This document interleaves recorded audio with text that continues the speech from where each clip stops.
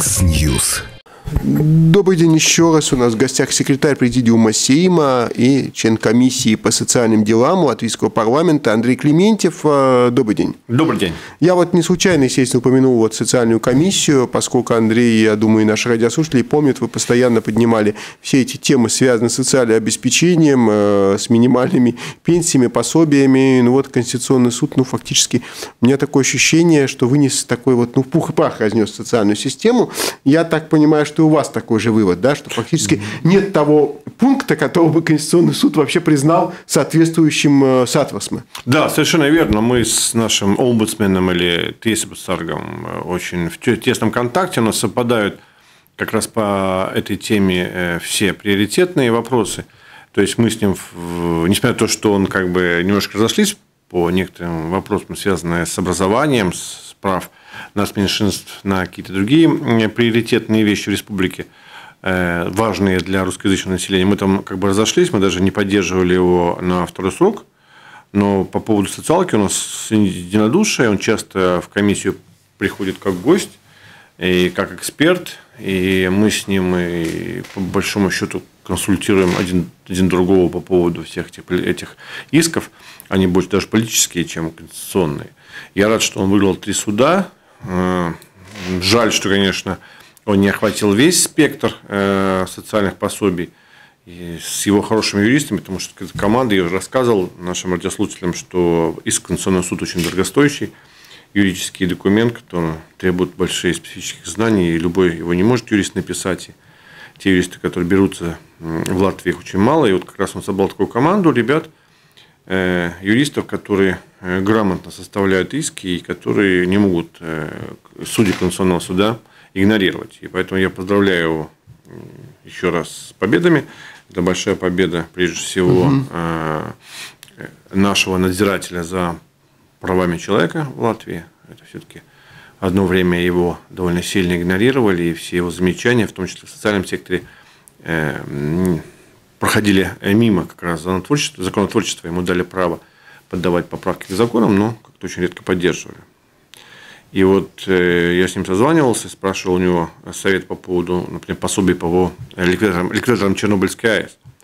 И у нас был такой интересный разговор, сказал, что ну, не может концентрироваться на все пособия, и, и если я возьму за эту тему, он как бы э, меня поддерживает. Да, сейчас параллельно пишется, тогда мы попытались еще раз на основании этих его выигранных процессов, э, приговоров и запросов Э, сверстать иск в суд по поводу пересмотра по пособию для ликвидаторов Чернобыльской АЭС. Да.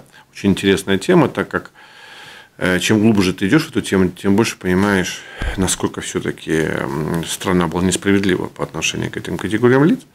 Их около трех тысяч.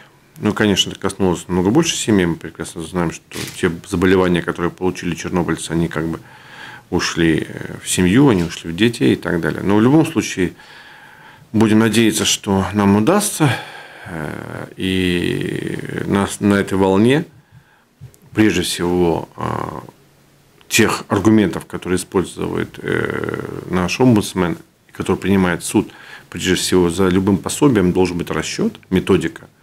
То есть нельзя просто придумать цифру и сказать, угу. вот это пособие, вот вам гарантийный, гарантийный минимальный доход, там копейка, вот вам, пожалуйста, статус малоимущего при ну, как раз выигранные процессы по, на взгляд каждого самоуправления и так далее. То есть мы тоже взяли за пособие, мы требуем, чтобы как, кабинет министров, который принимает решение о размере пособия, разъяснил нам, почему, например, чернобыльцам платят 100 евро в месяц, что они за эти 100 евро э, планировали, принимая эту цифру, Э, чтобы чернобыльц приобрел себе или прошел курс реабилитации, или, например, э, там, получил медицинскую помощь, то в любом случае за любой цифрой должны стоять э, конкретные расчеты. Это методика.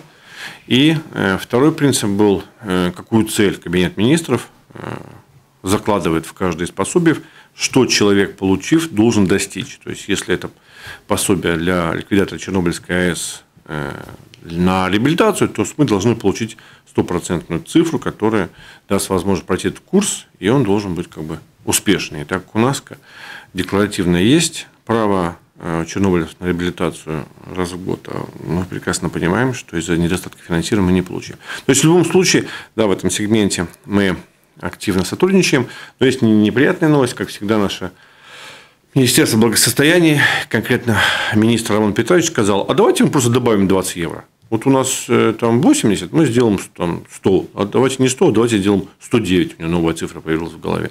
То есть, она не понимает сути, что Конституционный суд э, прежде всего указал на недостаток методичного подхода к людям, которые попали в сложную ситуацию. То есть, мы должны этим людям не просто как бы для вида что платить и делать э, какие-то подачки, а мы должны четко знать, как государство, что это пособие идет на конкретную вещь, чтобы достигнуть, например, его какого-то уровня благосостояния именно благосостояние. Для того, чтобы не просто он получал эти деньги, а потом сам наскребал их где-то там бутылки собирая, а реально э, закончил одно из своих приоритетных мероприятий. Здоровье, там, непосредственно заплатить за коммунальные и так далее. То есть, в любом случае, в любом э, ну, пособии должно быть еще какое-то определенное научное основание. Да. И вот это прежде, прежде всего а, Роман Петрович не понимает. Вот э, на следующей неделе, да, да, на следующей неделе она будет, э, к сожалению, на удаленке по компьютеру разъяснять нам свой подход, э, как она будет менять социальную систему. Ну, насколько я знаю, я же как бы ее постоянно мониторю.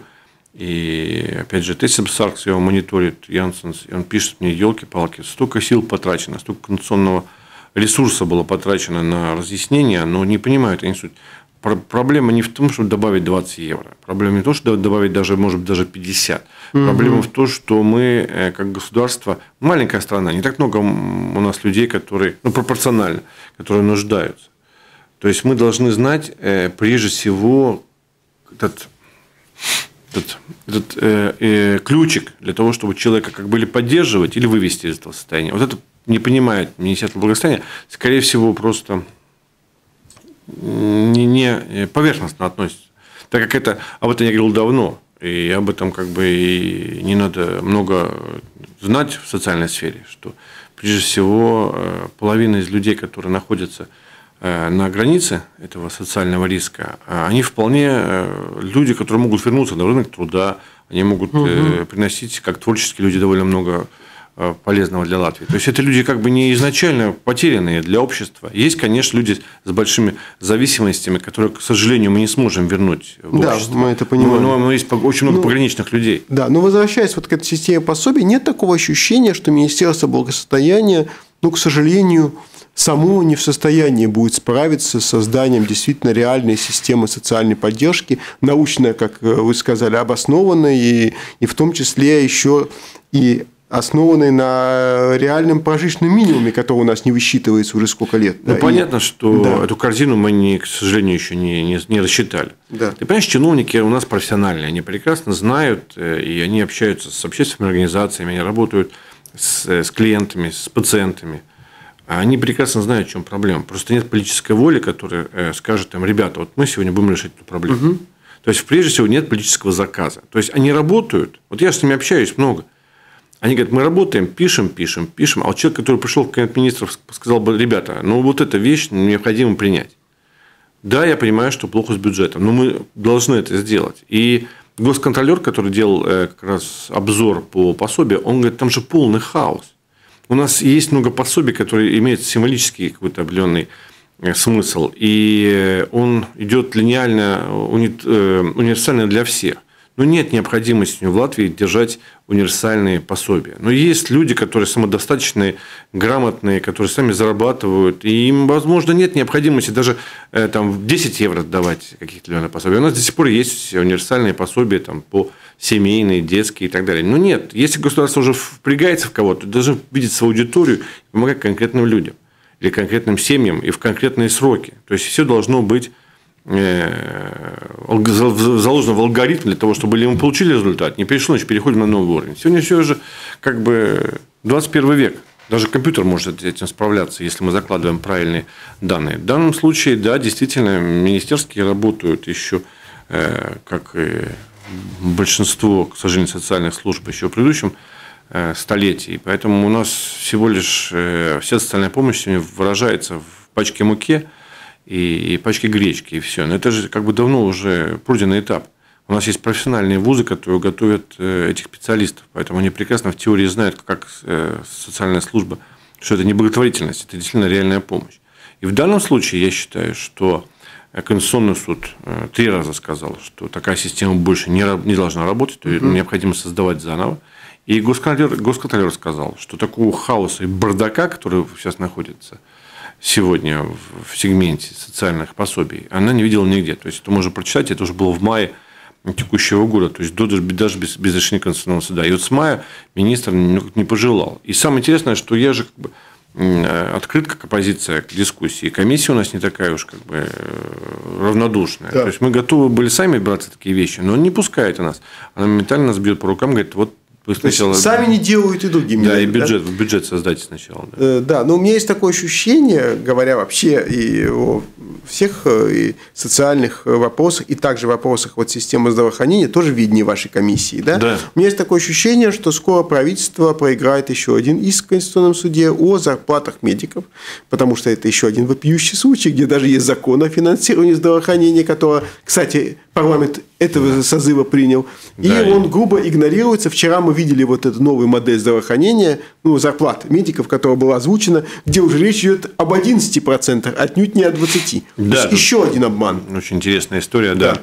Нам в начале созыва как бы удалось э, уговорить коллег внести это в закон и утвердить. То есть моя комиссия были э, те, кто поставили в неудобное положение сегодня Кабинет министров – и, и коалиции. И поэтому они осторожны по инициативам последние, ну, как бы этот, этот период, потому что один раз, поверив мне, они внесли эти цифры. Угу. Но я же как бы работал от Конституции, я же говорил, что мы по праву должны быть э, законотворцами, и от наших цифр э, должны отталкиваться Кабинет министров. Если предыдущий парламент обещал, в, этот, в этом парламенте мы должны были занести эти цифры, и мы должны были проголосовать. Ну, молодые коллеги, которые пришли меня в комиссию, сказали, ну да, ты логично говоришь, давай поддержим. А потом мы уже получили по шапке. И поэтому невыполнение закона сегодня, конечно, ты совершенно прав, оно, оно грубое, и Конституционный суд, скорее всего, будет на стороне медиков.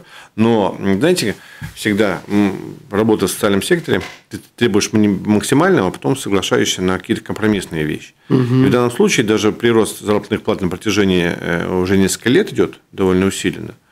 И уже э, как бы там 30-35% от, от, от, от, от той цифры, с которой мы начали танцевать там, в 2016 году. То есть я считаю, что да, они достигли максимального, не 20%, но в любом случае уже как бы не было странно, многим, может быть, даже покажется сенсационно. То есть у нас специалист, медик получает уже больше 3000 евро. Так, если он как бы Э, является специалистом своей, своей, своей области, если он является действительно востребованным врачом, то он, это для него не, небольшая цифра. А если у нас звезды, как бы врачи, которые выше категории, которым записываются на прием, которые делают, например, очень так э, хирургические вмешательства очень такие уникальные, то я думаю, там уже и больше 10 тысяч зарплат. У нас была интересная комиссия, на которой э, депутаты сделали э, запрос в службу госдоходов, посмотрели, как медики платят налоги. Там хорошие цифры появляются. Ну, конечно, не у всех. У нас самая больная, тема, конечно, это люди – которые работают в медицине на среднем уровне и младший медперсонал, там полная трагедия, там полная катастрофа. Просто там, на эти деньги вообще выжить невозможно. невозможно да? да, там, там у нас сектори... То есть медсестры, санитары, да, это у нас, ужасно, у нас да? получают, да. Но это опять же в компетенции э, медучреждения, то есть они должны не только платить звездам и своим светилам и локомотивам эм, клиник, но должны прежде всего беспокоиться и от и о хирургических медсестрах, и анестезиологах, люди, которые, по большому счету, должны тоже быть э, в этой категории, за которую борются. Конечно, без, без врача, без хирурга мы не можем много, э, но все-таки без людей, которые ему э, ассистируют, мы тоже не можем. Поэтому здесь Э, мы всегда настаивали, как э, комиссия, то есть обратить внимание руководства больницы, что давайте платить не только звездам. То есть немножко был, был туда крен. Но знаете, что интересно? То, что мы все равно конкурируем в свободной Европе, и заработные платы в Европе выше, чем у нас.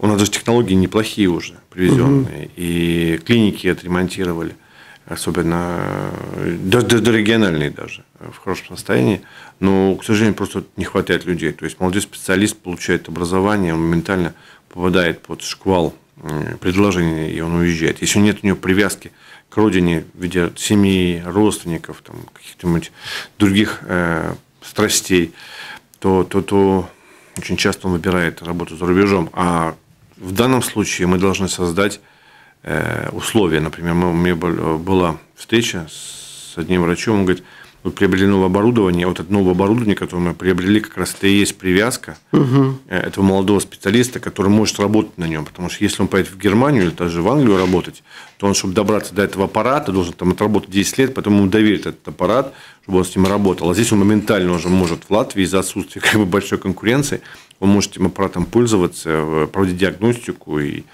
и э, с этими знаниями уже э, получать э, как бы более высокую зарплату или, например, иметь запись и опыт работы, если он все-таки уедет и работать за границу. Поэтому в данном случае с медицины у нас все-таки идет в плюс. С медицины будем надеяться, что будет в ближайшее время и результат. Не только мы будем говорить о медиках, о новых помещениях и новых инвестициях в аппараты, но и, наконец, пациенты станут довольны. То есть я как со стороны пациентов, я больше забочусь о тех людях, которые все равно не имеют доступа к медицине, которые стоят в длинной очереди, что мы, например, не можем там, обеспечить даже элементарные вещи, там, зубных врачей для, для детей да, по, по государственной да. программе. Да. Там фактически за все нужно платить. Ну да, да поэтому понимаем, да. Я, я, я, мы это тоже видим, поэтому в данном случае, да, я согласен бороться за зарплаты медиков, но я хотел бы, чтобы и пациенты меньше жаловались, и они действительно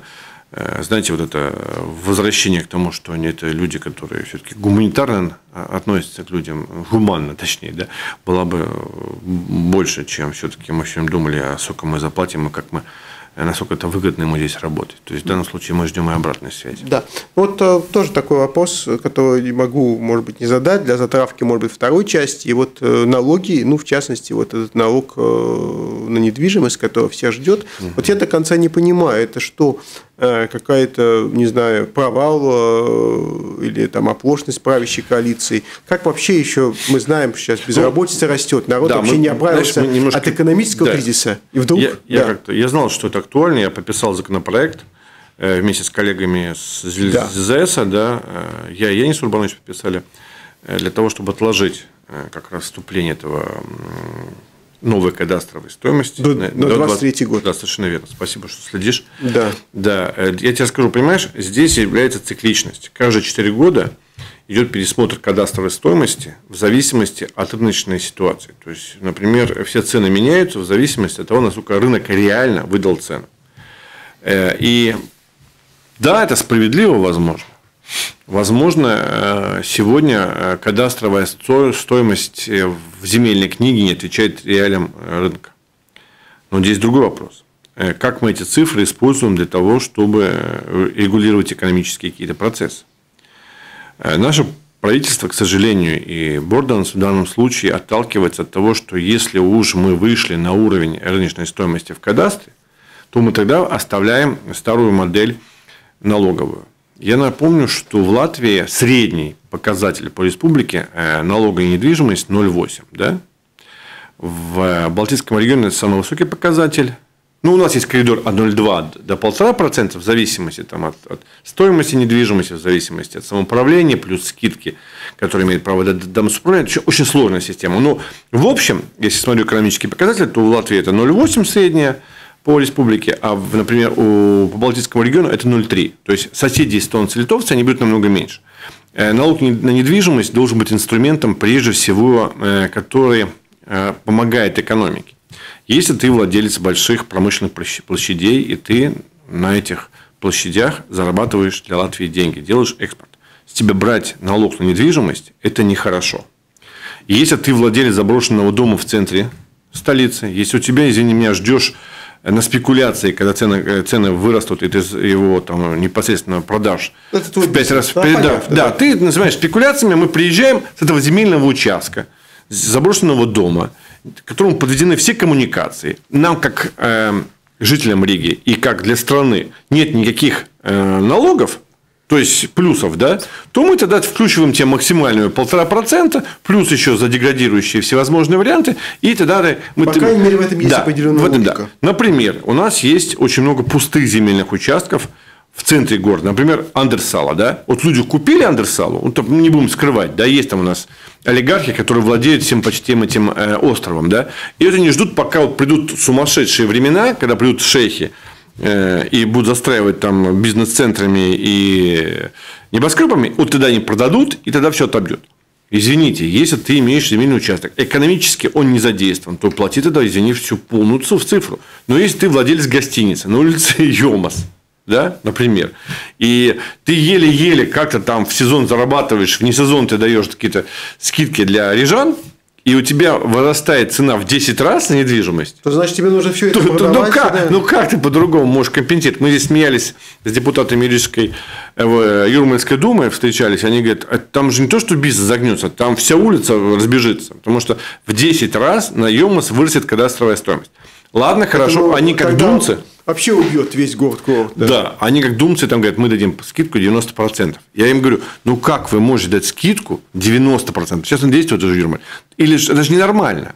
Например, другие города э, дают там еле-еле 25, выдают 90. Но это тоже несправедливо. Ну, как может скидка быть 90%? Что, надо выйдем на нормальные, реальные тогда цифры, что вы работали процентных э, каких-то э, нормальных э, позициях они давали такие сумасшедшие скидки. Они говорят, ну вот у нас доход за земельный налог, это чисто самоуправленческий налог, он все равно компенсируется и довольно высокий, например, чем в Латвии, в других регионах. Я согласен, конечно, дорогие виллы, там с 90% они прилетают хорошие, деньги. Но это ненормальная политика. Поэтому в данном случае, да, мы можем, как мы говорили с тобой давно, если ты владелец виллы, если ты живешь на тысячи квадратных метрах, э, у тебя лужайка там в дюну уходит с соснами, да, туда платишь полтора процента. Почему ты скажешь? Ну как почему? Ну потому что ну, ты богатый, ты должен поддержать соседа. Но если ты, например, унаследовал Межапарк, унаследовал э, Юрму, унаследовал, ну с тебя нельзя брать рыночную стоимость. Ну никакого отношения к рынку ты не имеешь. Это твоя, это, это, это твое семейное гнездо, и там прийти и сказать, что это стоит кусок сейчас миллиона, а раньше стоил как бы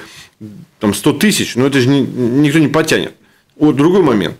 В этом э, ужасном новом решении есть все, кто построил после 2000 года, будет дороже, чем для тех, кто, кто не строил ничего и живет в, в, в советском строительстве. Да? Тоже интересно. Значит, ты отказался от помощи государства. Ты реально создал там, через собственную ипотеку или покупая стройматериал, нанимая строителя, построил дом, и тебе приходят и говорят, слушай, ты вроде неплохо живешь, хоть ты средний класс, мы тебе обкладываем налогом, э, э, и ты будешь платить э, по полной. Извините, если ты как самоуправление или как государство не помогал строить, ты не, не давал ему бесплатно какие-то вещи. Коммуникацию человек подводил сам.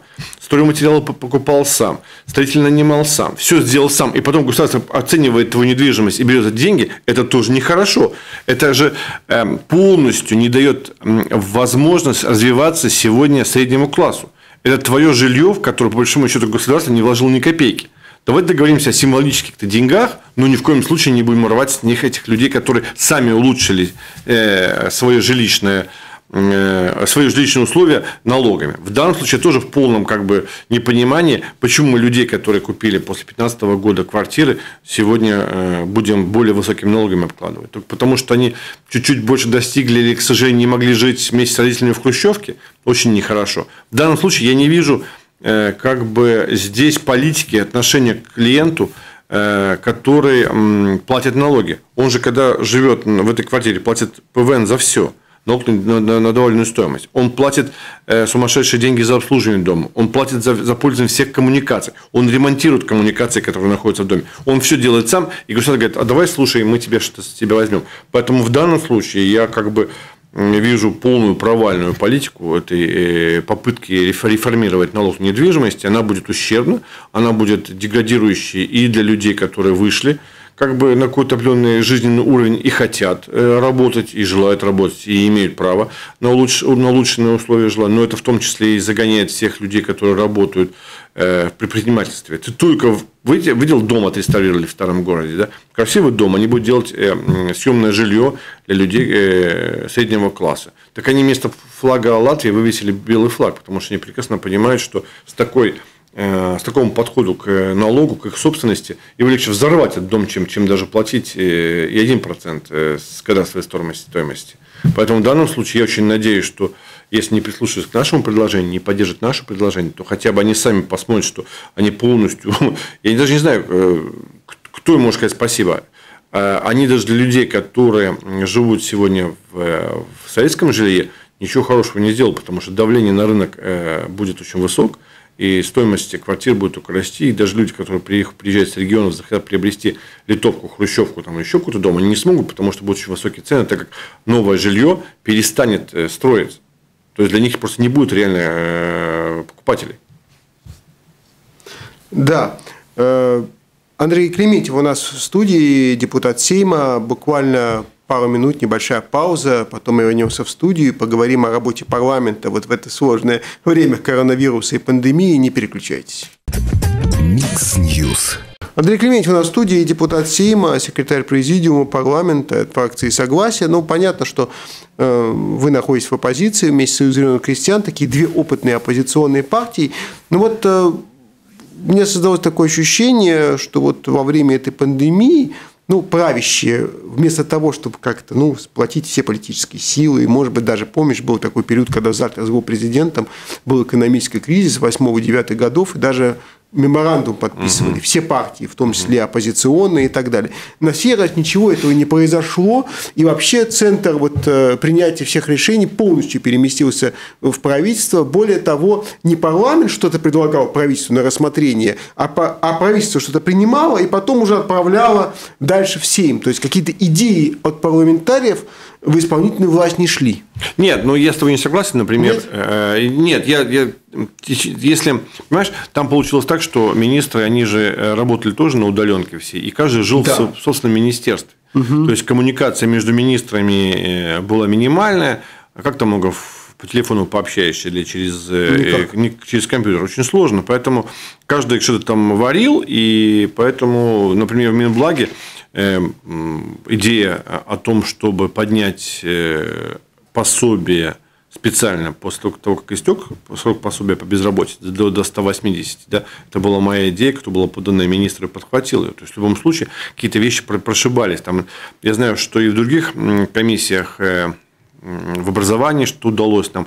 Я знаю, что и зеленым что удавалось протащить. То есть, э, понимаешь, мы так жили в таком интересном этапе, э, когда э, мы сидели там почти до 11 в парламенте, принимали угу. все решения как-то через, через компьютер, то есть друг друга не видели, каждый был отделен не только кабинетами, даже в разных зданиях сидели, поэтому коммуникация была минимальная. И до сих пор всех коллег своих по социальной комиссии вот с начала года как бы и не видел, наверное. То есть некоторые у нас был и случай заражения коллега э, э, председатель комиссии переболел, ну, заболел не в парламенте, а в больнице. Но в любом случае здесь такая ситуация была, что вот этот кулуарного э, консультации или каких-то договоренностей, они ушли на второй план, и это чувствовалось министерство. Поэтому министерства были, работали автономно.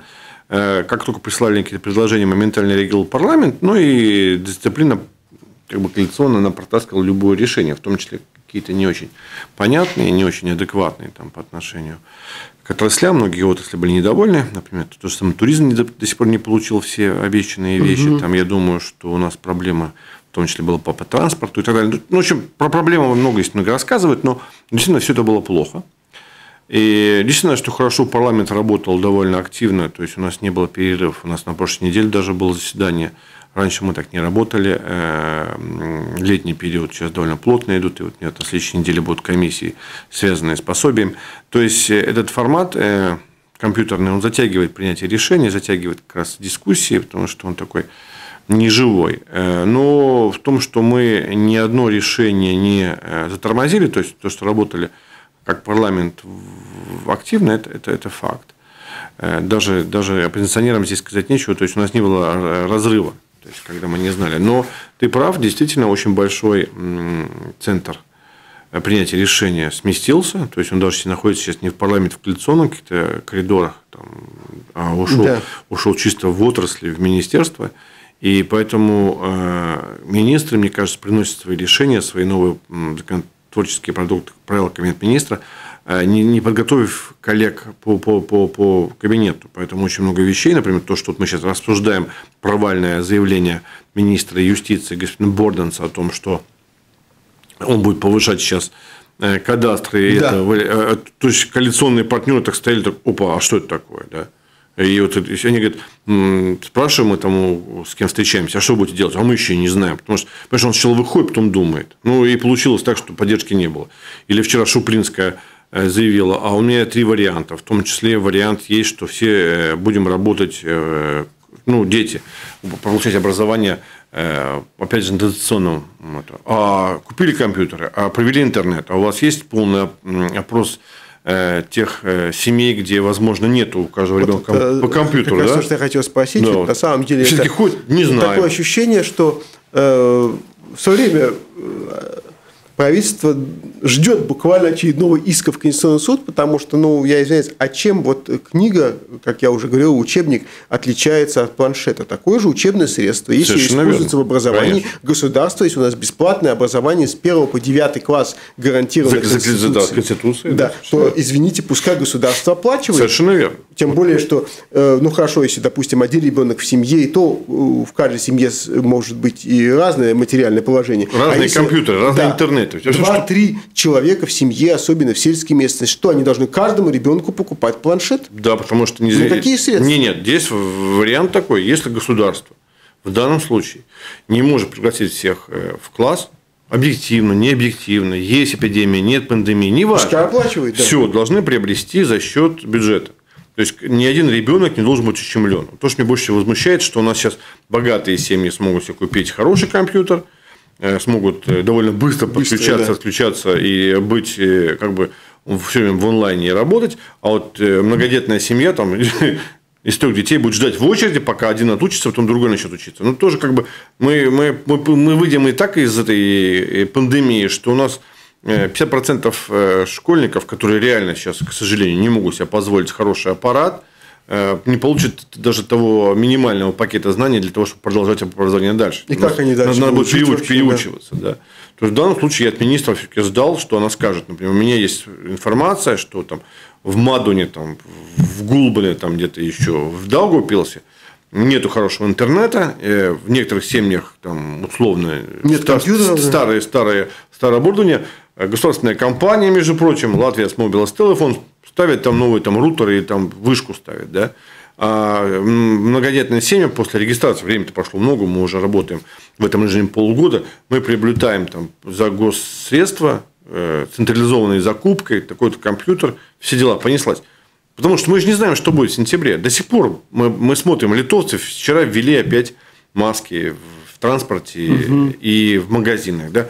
Э, с Брюсселя информация, что они до сентября опять вводят жесткие даже карантинные меры по выходу на улицу. То есть мы не знаем, что будет в сентябре. Депутаты Европарламента, которые туда да, улетели, там и застряли. Да, да. За опять, да, мы остались без, без нашего лидера.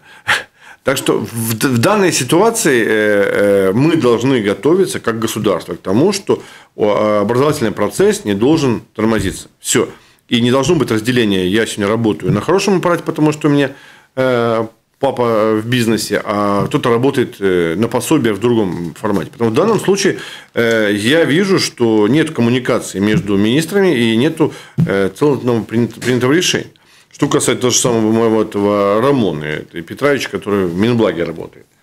Или ходит на службу, я не знаю. Она говорит, а давай сделаем такие цифры, давай сделаем такие цифры по, по пособию. То есть она тыркается, пытается, чтобы ей коллеги подсказали, можем мы, не можем позволить. То есть фактически она берет цифры с потолка. Да, совершенно. Почему потому, такое пособие? Да, Почему поэтому я тебе говорю, это как первая наша часть с тобой. И даже здесь министр экономики говорит, как то какой налог, как мы, как мы бизнес можем э, повесить сегодня такие сумасшедшие налоги на недвижимость. Да, э, давайте будем принимать э, звонки. Несколько звонков успеем принять. Добрый день, слушаю вас, пожалуйста. Добрый день. Добрый. У меня к вашему гостю два вопроса. Первый вопрос такой. Вы только что сказали, что работая на удаленке, министры не было коммуникации, поэтому они работали плохо. А, и минимально. Скажите, пожалуйста, у них зарплата за этот период тоже стала минимальной? И второй вопрос. Сэм, вообще способен заставить министров бороться не с алкоголиками и проститутками, а дать какие-то предложения по подъему экономики в стране, хоть хоть когда-то, или такого никогда уже не будет. Спасибо большое. Очень Спасибо большое. грамотный радиослушатель, да. четко отследил последние наши актуальные темы. Да, действительно, мы боремся сейчас не только с проститутками, но и с клиентами проституток. То есть, да, действительно, и боремся с алкоголизмом бороться через, опять, через запреты, через введение каких-то новых непонятных правил, там, торговать до трех праздники. Мы же подумали, что люди или э, сегодня будут запрещаться какие-то маленькие эти 0,2, как эти карандаши, как называют там в народе, да. не знаю. Да. То есть, действительно, какие-то очень странные инструменты. Я совершенно согласен. Но у меня была возможность встретиться с министром финансов, я не Самрером, вчера мы с ним э, встречались, э, и он мне сказал, что Алтумс, э, этот наш да, инкубатор, да, да. государственный инкубатор, получит в ближайшее время около миллиарда евро. Это деньги, которые планируется как раз эм, интегрировать инвестировать в реальную экономику.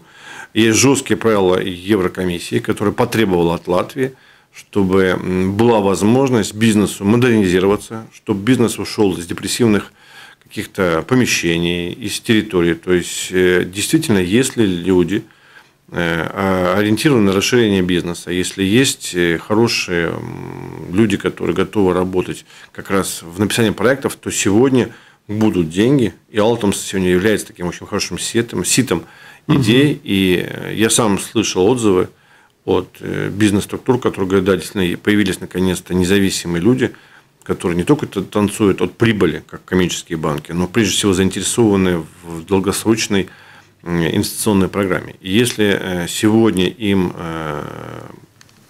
этим людям, которые принимают решения, разрешат действительно делать качественные экспертизы, эти деньги разрешат э, перераспределить, не просто, как мне даже Рэр сказал, интересная вещь, эти деньги не будут э, по блату раздаваться утопическим проектам, он там назвал несколько, которые типа, а действительно мы хотим, и я думаю, надзор с Еврокомиссией будет жесткий, что мы хотим, чтобы эти деньги реально помогли. Вот чувствуется, например, э, вещь такая интересная. Прямо у нас в Латвии, оказывается, очень много производств. Мы, мы производим очень много интересных продуктов, для двигателя внутреннего сгорания. Но чувство... Многие даже об этом не знают. Да, да, да. Мы делаем и детали так, глушителей, автомобили мы делаем какие-то определенные там, детали по фильтрам. То есть, есть заводы, которые, ну, там, задействованы не очень много людей, там, 100-200 человек. Ну, свою нишевую продукцию да, да, то есть, для да, у них есть, они производят. Да, делают. Да. И вот чувствует этот автопром сегодня, да, что в будущее не за двигатель внутреннего сгорания. То есть, в любом случае, эти глушители уже, скорее всего, в таких объемах покупаться не будут, так как уже будет перестраиваться автопром. Так давайте дадим возможность этим людям за счет этих денег Алтумса приобрести оборудование, которое уже будет помогать этим электромобилям будущего. То есть, если Франция переходит на электромобили. Ну, это, это один из примеров. То есть, мы должны э, тем бизнесменам, которые реально работают в экономике, платят налоги, у них там белые заработные платы, действительно э, уже зарекомендовали себя как хорошие предприниматели, дадим возможность за счет государственной программы и европейских денег – без процентов, без какой-то реальной прибыли э, за, за э, использование финансового ресурса, э, пройти модернизацию производства. Пускай он параллельно выпускает эту деталь от глушителя, но одновременно делает вещь, которая, по большому счету, будет востребована для там, французских электромобилей.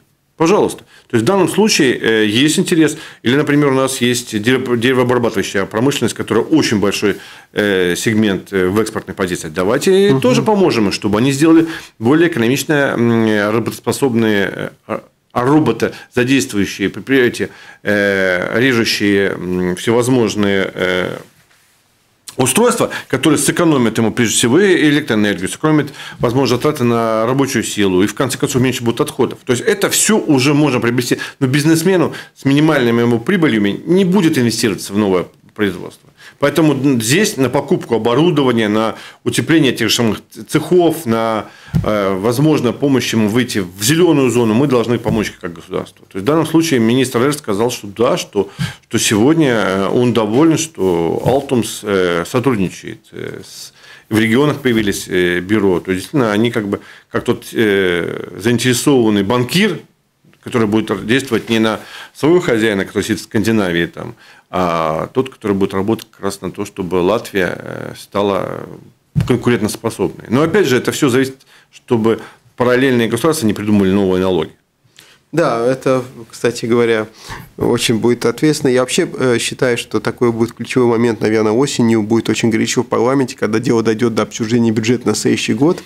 Мы знаешь, видим, что ну, есть... ты же видел сегодня сообщение, да, не да. так все плохо, люди как бы вы, выкапывали. Знаешь, у нас люди такие, и бизнес, и нет, работники не подопляют, собирают деньги, нет, понимаешь, я, я платят все, налоги. Нет, я все понимаю, я просто имею в виду, что э, вот партии, которые власти, они понимают, что надо хоть что-то показать, что они вообще собирают свои предвыборные обещания выполнять, 3 по 500 и так далее. Поэтому будет, я так понимаю, такая рубка э, я, серьезная в парламенте. Знаешь, я очень надеюсь, что больше будет думаться об не о каком-нибудь глупом там, э, выполнении своих э, предвыборных обещаний, потому что очень многие были безумные. Безумные, а, да. Да, да, да. А некоторые вещи, которые будут которые сейчас э, на дальнюю перспективу дадут возможность все-таки как бы выйти нам с минимальными потерями с пандемией. Я скажу, что да, мы потеряли очень много э, в сфере обслуживания сейчас. Мы видим, что гостиничный бизнес у нас плохо стоит на ногах. Рестораторский бизнес. Понятно, очень, туристический ну, вещи. Да, да, да. Мы, мы, мы, понимаешь, Э, другие более-менее, когда у нас там было, по-моему, прирост безработных, по-моему, 30 тысяч за весь период плюс, да. То есть мы ждали, что будет хуже. Но в любом случае надо, значит, помочь этим ребятам. Надо помочь тем же людям, которым молодым, которые приехали в Ригу, устроились работать там в гостиницу или в ресторан, и которые сейчас пытаются, ну, как бы, там, не разориться, так не работают э, сферы. Да? То есть я думаю, что здесь необходимо больше подойти э, индивидуально. Каждый, каждый, как, как... У нас небольшая страна, поэтому мы можем э, поработать с каждым. Например, я знаю, что арендный, опять же, тот же самый бизнес, ну, можно было освободить, например, арендные помещения от НДС. Ну, потому что у нас же сумасшедшие цены из-за того, что бизнес, который выстроил, извините, торговый центр, он хочет э, со всех арендаторов и даже в момент пандемии рвать максимальные цифры. Ну, выстроил... Поэтому бизнес, да. Поэтому, да, поэтому мы покупаем, к сожалению, объект с тобой вещи не здесь, в магазине, а как только вырвали за границу, бежим туда, для того, чтобы приобрести там, как ни странно, даже в дорогих странах это стоит дешевле, чем у нас в Латвии, потому что у нас база сумасшедшая, дорогая. У нашего арендатора вошел эти помещения торгового центра, должен там сумасшедшие деньги вложить. В начале, в конце, И на маркетинг. Поэтому на все. цена на вещи, да, все. Конечно, какие конкурентные здесь эти. А альтернативных вещей больше нет. Поэтому у нас как бы старый город вымирает, так как эти маленькие магазинчики не получают э, возможности торговать, так нет клиентов. У нас пустые улицы. А это, опять же, проблема этих парковок и так далее. В данном случае надо договариваться. Давай большой, большой магазин. Мы тебе делаем ставку там, налога недвижимости ноль, но ты как бы не имеешь права там выжимать все соки. Но это ненормально то, что происходит сегодня. И эти маленькие э, магазинчики, даже имея сети, они просто жалуются. Ну, ну ну, государство могло же как бы э, оказать давление, какой-то там намек этим э, торговым сетям, чтобы они в момент пандемии дали возможность этим э, магазинам выжить. выжить да. Он, можем сходить с тобой с соседней сейчас улицы, Унисам, центр, да, мы что мы видим, что на некоторых этажах треть помещений пустые, потому что просто тупо Закрыто уже задушили. Ну, правильно, там сидит хозяин, не здесь, он даже не знает, что здесь происходит. У него там по договору такие вещи прописаны, он душит их, и все, бедных. Mm-hmm. Поэтому здесь, здесь надо более творчески подходить э, к каждому сегменту экономики. Нельзя сегодня просто упереться в обещание там, всем по 500. Ну, ну а что это даст? Минимальная зарплата 500, 500 евро, то, что мы с тобой уже один раз рассматривали, он э, самому там, работнику ничего не дает. Там очень много других экономических других сегментов необлагаемый минимум и прочее. Да, да, остальное. необлагаемый минимум, возможно, да, это инструмент хороший, и, но опять же он должен даваться в прогрессивной системе. Ну, депутату 500 евро необлагаемый минимум, ну, ну, ну, какая справедливость? Пенсионеру 500 евро необлагаемый минимум, да, я вижу смысл. Ну, а всем зачем? Андрей Клементьев у нас был в студии, депутат Сейма. Большое спасибо. Спасибо.